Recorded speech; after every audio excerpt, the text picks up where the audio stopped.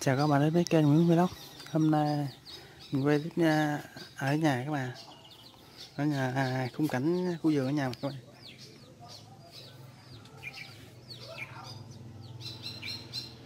Hoa sứ nhà này.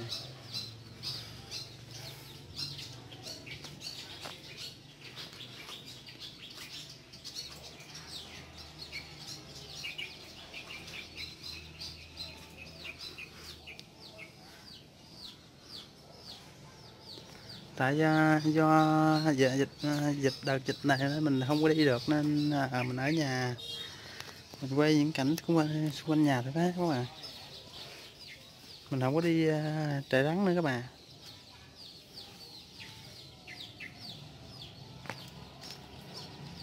Đây mới mưa xuống nữa các bạn.